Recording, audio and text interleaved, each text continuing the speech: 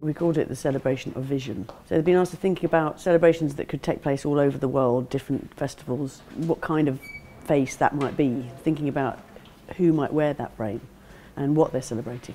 The RCA turns out some good designers in all fields. I like to see new work, and this is one of the best places to see new work. And it's nice to see them operating in optics as well.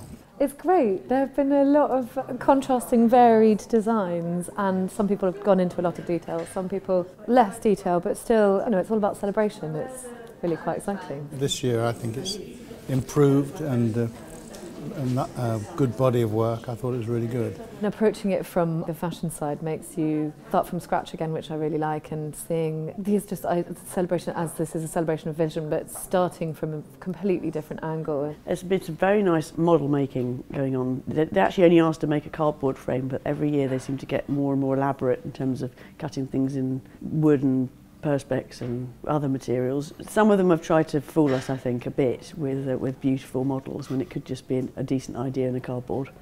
But nice to see, nice to see that they're so enthusiastic about it.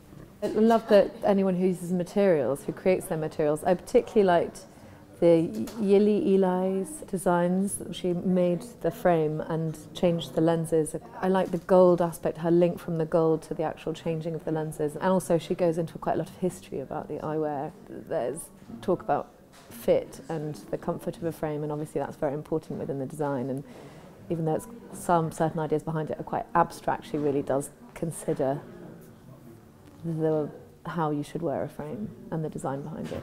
This year, all the winners the past five years are going to be in the exhibition as well. They're going to show alongside this year's winners because that is the celebration of com competition and of the fair. And actually, some of them have become eyewear designers and, and have consulted on projects and in a professional capacity since. So yeah, it's nice that they, found, they find their métier through this project.